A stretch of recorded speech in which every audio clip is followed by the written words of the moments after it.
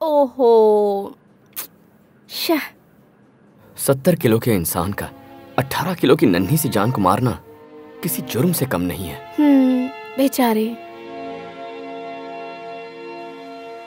तुम मुस्कुराती हो तो फूल खिलने हाँ? लग जाते हैं। मेरे बेटे को देखा। उसको ढूंढू पागल हो गया उसे ढूंढ या मत ढूंढ लेकिन बात करते करते कीचड़ में मत गिर जाना। कविन कविन अ, अ, सर ऐसा लगता है कि आप भी कुछ ढूंढ रहे अपनी हैं। बेटी को ढूंढ रहा हूँ सर। बच गया। आपको इस बात की खुशी हो रही है? नहीं सर मेरा बेटा भी गायब है। अब दोनों साथ में गायब है सुनकर थोड़ा खुश हो गया था सर। ये बात है। वहाँ पर नहीं है। वहाँ भी नहीं है सर। तो इस तरफ़ हाँ। देखते हैं। तो ये तुम्हारा घर है? कहीं भी नहीं है। क्या हुआ? कोई नहीं है?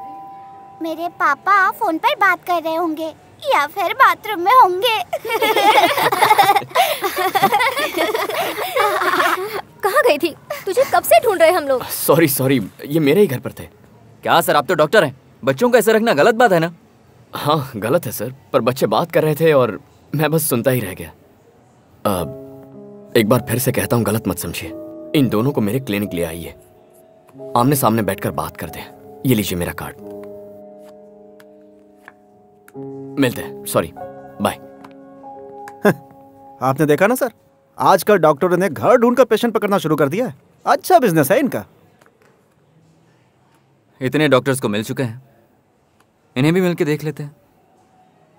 डॉक्टर छोटा सा भी पेन हो तो ऐसा लगता है जैसे अटैक आ गया है मुझे। बहुत डॉक्टर दिखा चुके हैं। इसलिए बिना सोचे उस दिन आपका विजिटिंग कार्ड फेंक दिया। सॉरी डॉक्टर अरे कोई बात नहीं। हर एक प्रॉब्लम के लिए अलग अलग डॉक्टर है। आपके प्रॉब्लम का डॉक्टर आपको मिला नहीं यही आपकी प्रॉब्लम है। कई पेरेंट्स एक्टिव बच्चों को हाइपर एक्टिव समझने की गलती करते हैं और जो हाइपर एक्टिव होते हैं उन्हें मम्मी पापा जैसा नटखट समझकर छोड़ देते हैं। दोनों बातें गलत हैं। डॉक्टर वैसे आपकी फ़ीस क्या होगी? एमआरआई स्कैन ये सब फिर से करना पड़ेगा? अ, इसकी क्या ज़रूरत है? ज़रूरत नहीं है? लेकिन हमने तो सर से पाँव तक एक्सरे स्कैन सब टेस्ट करवा चुके हैं डॉक्टर क्यों करवाया ये सब? शैतानी से स्कैन का क्या लेना देना होता है sir I I mean mean, बुरा मत मानना बट उसकी एक वीकनेस की वजह से हर डॉक्टर हमें बेवकूफ़ बना रहा है। टॉयज बेचने वाले से लेकर स्कूल चलाने वाले तक। कपड़े बेचने वाला भी कम नहीं है सर हमारे कपड़े 500 में आते हैं तो उसके 1500 से 5000 लग जाते हैं सर डॉक्टर के पास जाकर बच्चे को क्या प्रॉब्लम है ये पूछो। बस। वो एवरी पॉसिबल वे से आपसे पैसे निकलवाने की कोशिश करेंगे। थक गया हूँ इन सबसे इतने इमोशनल हो जाओगे तो एक ही चीज़ मुफ़्त में मिलेगी। क्या सर बीपी वो तो पहले से ही है सर तो आखिर उन बच्चों की परेशानी क्या है? उन बच्चों को ठीक करने से पहले उनके माँ बाप को ठीक करना पड़ेगा। हाँ? या पहले उन्हें काउंसलिंग देनी होगी। स्ट्रेस के लास्ट स्टेज पर है। वो बैंक मैनेजर तो लास्ट स्टेज भी पार कर चुका होगा। क्या करें? ये सब एक मीटिंग में ठीक होने वाली चीज़ नहीं है। और अभी बहुत थकान हो रही है। बहुत भूख भी लग रही है। ये लोग खाना लेकर आ गए। तुम लोग खाना यही लेकर आ गए? अखिल बिल गेट्स के बारे में क्या सोचा तुम्हारी? बिल गेट्स दुनिया का सबसे अमीर इंसान। अंबानी से भी दस गुना पैसा होगा उसके पास। उतना पैसा मेरे पास होता तो मैं तो पागल ही हो जाता। Michael Jackson oh Michael Jackson की मैं बहुत बड़ी फ़ैन हूँ सर मैं जब स्कूल में पढ़ती थी तब उनके पोस्टर्स अपने रूम में चिपकाती थी। कितना क्रेज क्या स्टाइल जब भी उनका डांस टीवी पर आता था तब मैं किसी को चैनल नहीं बदलने अब लॉर्ड कृष्णा पसंद है? ओहो हो कृष्ण को कौन नहीं पसंद करता? मैंने तो उनके सारे एपिसोड्स देखे हैं।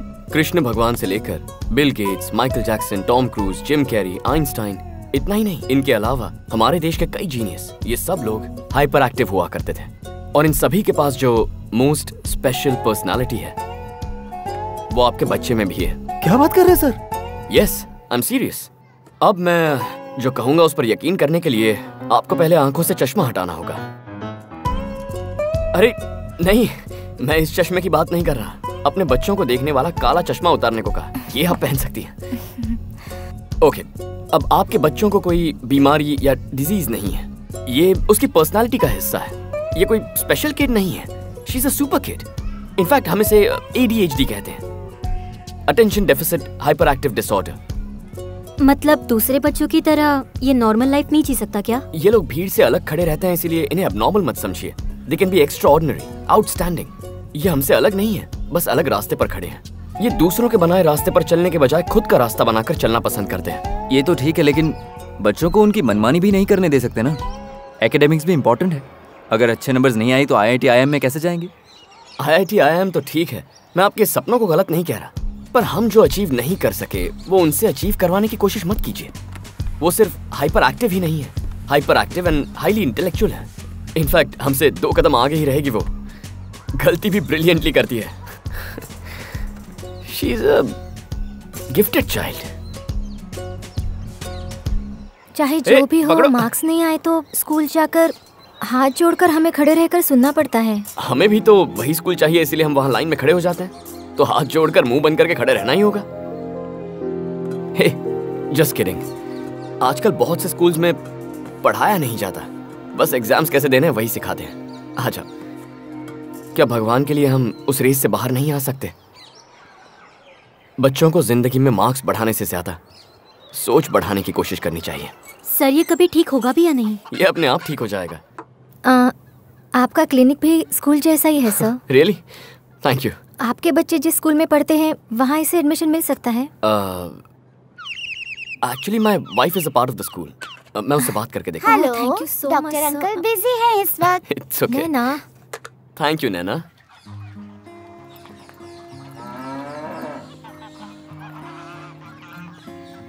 hi Kavin hi Naina welcome अब आप लोग चले जाइए मैं देख लूँगी। आपने कहा था कि स्कूल जैसा नहीं है लेकिन यहाँ पर भी कान पकड़कर पनिशमेंट दे रहे हैं। वो पनिशमेंट नहीं है it's called super brain yoga बच्चे हर वक्त एनर्जेटिक रह सकें और पूरी तरह कंसंट्रेट कर सकें इसलिए हम थोड़ा एक्सरसाइज करवाते हैं। ओह डोंट वरी मैं संभाल लूँगी अंदर चलो। बाय हे किड्स दो नए फ्रेंड्स आए हैं। आप लोग वहाँ जाकर बैठ जाओ। Okay children five four three two one ready सबका स्क्रू लूज है क्या? मुझे तो ऐसा ही लग रहा है। नैना हंस क्यों नहीं रही हो? क्योंकि हमारा स्क्रू लूज नहीं है मैडम। वो क्या है ना? इस तरह खिलखिलाकर हंसने से हमारी मसल्स फ्री होती हैं, टेंशन भूल जाते हैं और रिलैक्स होकर पढ़ाई पर कंसंट्रेट कर पाते हैं। फॉरेन कंट्रीज़ में बच्चे यही फॉलो करते हैं। सही है सही है।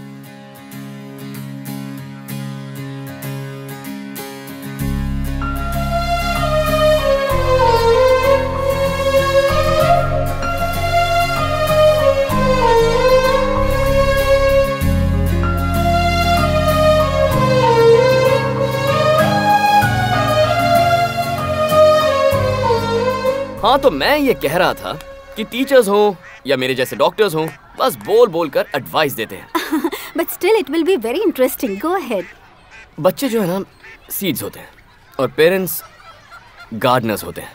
हमारी फैमिली रिश्तेदार उस सीड को पकड़ने वाली मिट्टी होती है। टीचर्स सूरज की किरणें होती हैं और दोस्त पानी की तरह। और थेरेपिस्ट डॉक्टर्स इन्हें हम एग्रीकल्चरल ऑफिसर्स कहते हैं। डॉक्टर से दी जाने वाली थेरेपी से ज़्यादा फैमिली थेरेपी ही बेस्ट है। जो पेरेंट्स अपने बच्चों के साथ मिलजुल कर खेलते हैं वही एडीएचडी को कंट्रोल भी कर पाते हैं। मैं पेरेंट्स कह रहा हूँ लेकिन डैड्स भी इसमें शामिल हैं। डैड्स ऑल्सो हाँ।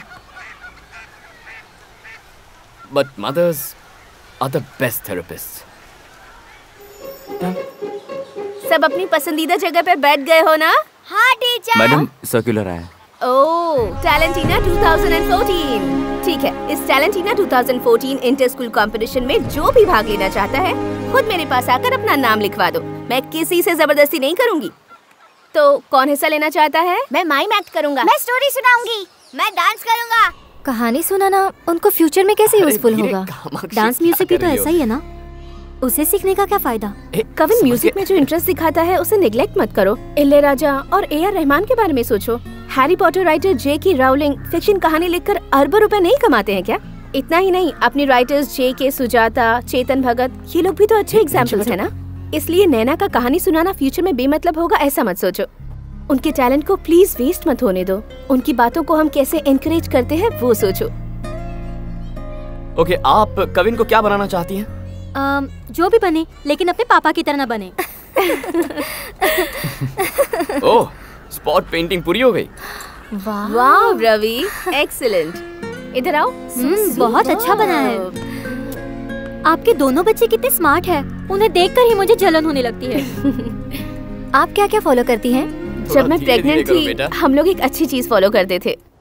तब हमारी शादी को सिर्फ़ तीन महीने हुए थे। क्या बात है? यहाँ क्यों बुलाया मुझे? हम्म?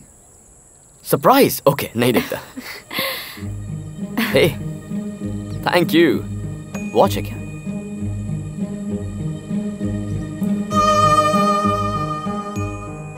पापा बनने वाले हो